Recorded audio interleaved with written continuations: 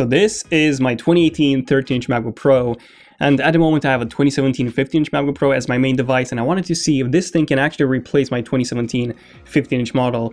So here's my full in-depth review of this thing, and everything you need to know about this new MacBook. So yeah, grab some snacks, whatever you want to grab, because this is going to be an interesting, a fairly long but interesting video, and let's have a look at this 13-inch MacBook Pro 2018.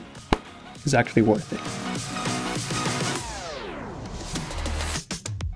Okay, so Apple's MacBook Pros come in two sizes, a 15-inch as well as a 13-inch model. I have both of them, but in this video I'll only be focusing on a 13-inch model. So this is the 2018 model. Uh, it came out about two weeks ago, and it actually starts from $1,800 or 1,750 pounds. So it's not a cheap 13-inch laptop. In fact, I believe this is literally the most expensive 13-inch laptop that you can buy baseline option. Now, Apple does sell a more affordable version of the 13-inch MacBook. This one actually starts at $1,300 or 1,250 pounds, but that one does not come with a touch bar. It comes with a single fan, um, and that one was actually released in 2017, so that model was not updated. It's only this one with a touch bar that has been updated in 2018. So design-wise, the new 13-inch MacBook Pro looks identical to the 2017 and 2016 models. So we get the same colors as before, space gray and silver, obviously everyone would be getting the Space Gray because that one looks really, really good. We have the same massive trackpad. Even the weight has remained identical to last year's model, and I don't really blame Apple for doing that. I mean, this is an amazingly well-designed laptop. Definitely my favorite laptop design. It looks even better than the 15-inch model, which honestly looks just like an afterthought uh, with how much space, empty space you have between the touch bar and the screen. So the 13-inch form factor is definitely what Apple had in mind when they initially designed the 2016 MacBook Pro redesign design. Now, the only thing that I would change design-wise would be the bezels, so I would love those to be thinner, but other than that, I love this design a lot. Now, there is one design change that has happened, and that is when it comes to the keyboard. So Apple has now introduced the third generation butterfly mechanism, or you could even call it the fourth, because the 2017 models got a slight improvement from the 2016 ones. But basically, Apple has now further refined the controversial keyboard that it got sued for quite a few times before. So they now added a plastic film to keep debris out of the key switch mechanism, basically in order to avoid the keys being stuck from, uh, you know, particles of dust or breadcrumbs. But fun fact, Apple hasn't officially admitted uh, to this. So they've only said that it's quieter, which I mean it is, but not by a lot. Uh, the fact that the keyboard is quieter than the 2017 model is actually a result of that film which they added to fix the previous issues. But Apple just doesn't want to admit to this because, you know, they don't want to admit to a flaw and then they want to get sued even further.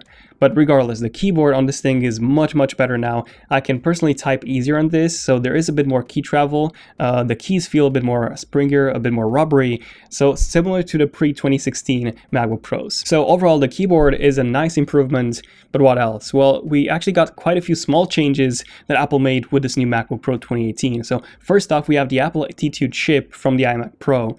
So in case you don't know what this is, this is basically an Apple A10 processor. It's an Apple A10 based processor, which handles a lot of background processes such as the camera, the microphone, uh, the boot sequence, the storage encryption. This one is actually pretty big because you no longer get a performance drop on the SSDs if you uh, if you use encryption, if you use FileVault. So there's a lot of processes that a T2 chip handles, uh, and it also supports the Hey Cindy command. Now I'm not gonna say the name, but you know which one. So you can activate Siri from wherever you are in your room, just like a HomePod, just like you can do on the iPad Pros, on the iPhones. So this is the first on the Mac. And then you'll also notice some very small but very useful changes and improvements thanks to that T2 chip, such as, for example, the camera quality, the webcam quality is much better than before. Even though it's the same camera module, uh, the T2 uses the image processing that's actually being used in the iPhone 7 because the same chip uh, to handle this, and same applies to the microphones, so the sound quality is a bit better, and then the speakers, so you get better audio quality overall. And then speaking of the speakers, haha, see what I did there? Apple has uh, basically wired the uh, speakers directly to the power rather than just the motherboard alone, so they're also a bit more powerful than the 2017 and the 2016 models. And aside from this, one of the other changes is the addition of a True Tone display. So essentially, there's a new sensor now uh, next to the camera, and similar to the iPad Pros, the iPhone 10, and the iPhone 8, the display would basically automatically adjust its color balance based on the lighting condition that you're in. So for example, if, if you're outside with a MacBook and it's sunny, the display would match that light color. Uh, if you're in an office and you have white light or you know blue lights like I do, it would actually match that just like a piece of paper would. And then what's really interesting about this is that it also applies to the touch bar and if you have an LG ultrafine 5K monitor connected like I do, it also applies to that, as long as of course you keep the MacBook's lids open because that's where the sensor is. Now the only problem with this is that, yes, it is much better on the eyes, but the problem is that Final Cut Pro 10, Photoshop, or any app for that matter, at the moment it does not disable True Tone, which means that the colors would be completely off, so if you're doing any photo or video work, you would need to keep this feature disabled. And then there's also the addition of Bluetooth 5.0, which supports two times the data rate and four times the range when compared to Bluetooth 4.2.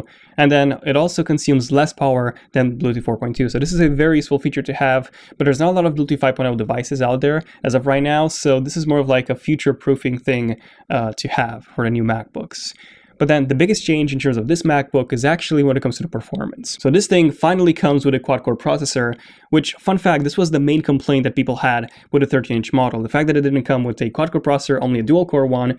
But by the way, this is not thanks to Apple but thanks to Intel. So Intel's 8th generation processors, uh, Coffee Lake, the Coffee Lake architecture focuses on adding more cores. So the dual core chips now became quad core processors, and the quad core processors now became six core processors. So essentially, the 15 inch MacBook Pros, they're now six cores all across the line. But with a 13 inch MacBook Pro with those four cores, even the baseline model, which comes with the uh, 2.3 gigahertz i5 processor, which I have right here, it's faster than the top of the line MacBook Pro 15 inch from 2017 uh, which is insane. Now you can finally have the same performance on a 13-inch model as you could on the 15-inch model uh, up until 2017, including 2017, except one thing, and that is the GPU. So the 13-inch model still does not come with a dedicated graphics card, which means that if you plan on doing, you know, video editing, 3D modeling, or anything that requires a high-performance GPU, gaming, for example, I mean, let's be honest, you won't be gaming on a Mac. Uh, video on that soon. But yeah, basically, if you care about a GPU, then you know, this is going to be much, much slower than the 15-inch model. So for example, Final Cut Pro 10 takes three times more to render the same project on the 2018 13-inch model when compared to the 2015 2017 model, not even the 2018 one. So for example, if your export takes, I don't know, 20 minutes on the 15-inch model, it's gonna take an hour on a 13-inch. And if you're doing that daily, well, that's a huge difference. And then in that case, the 13 inch MacBook Pro isn't for you. Mm, fun fact. Uh, did you know that the 2018 13 inch MacBook Pros, they now support the full 40 gigabit per second Thunderbolt 3 bandwidth on all four Thunderbolt 3 ports? Because before in the 2017 models and 2016, it was only on the two left hand side ports, uh, not all four of them. So this means that you can transfer data at insanely, insanely fast speeds, basically up to 2.8 gigabytes per second, which is the actually the bottleneck, not in Thunderbolt 3, but in the internal storage or write speeds of these new MacBooks. But that's basically the fastest you can get in any laptop as of right now. These ports are awesome, not just because of the fast transfer speeds, but you can also connect this to one 5K monitor. So the 15-inch MacBook Pros, they can do two 5K monitors. So if you care about connecting more monitors, then get a 15-inch. Then you can also connect an eGPU or external graphics card to this thing and basically get that GPU performance you never had on the on the 13-inch model. By the way, I actually did an in-depth review of Apple's Blackmagic eGPU, so do watch that video if you want to know more about that, uh, how it works and everything. But right now, eGPU support is very limited in macOS. So, for example, Final Cut Pro doesn't support it officially. Now, you can in fact enable, uh, you know, support via a third-party script. So you can you can run the script, and with Radeon Pro 580, that's the the graphics card that you get in the Apple Blackmagic eGPU, you would actually be getting worse performance than on a 15-inch MacBook Pro with a weaker dedicated GPU. So yeah, at the moment, that's the state of eGPU on a Mac. But again, do watch this video if you want to know more about that. Okay, so in the end, what's my conclusion on all this? Is the 13-inch 2018 MacBook Pro worth it or not? Well, if you don't need the GPU performance, then I would say yes. It's a great all-around device. It literally has the most powerful CPU on a 13-inch laptop, that's this thin.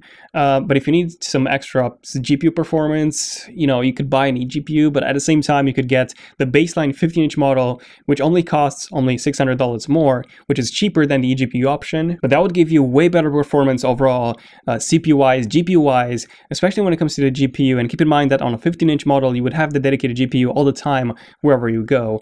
I mean, yeah, it's not as portable as the 13-inch model, but you you do get much more performance out of it. And speaking of the portability, yes, I would pick the 13-inch over the 15-inch every single day, um, even over the 12-inch. By the way, I feel like the 13-inch is the perfect blend between portability and performance.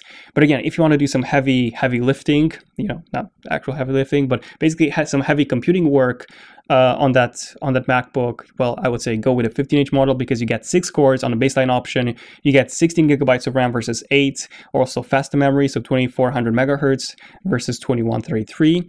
Uh, as well as the dedicated GPU, and that would make a huge difference in your workflow. But yeah, let me know in the comments what do you guys think about all this. What do you guys think of the 2018 30-inch MacBook Pro?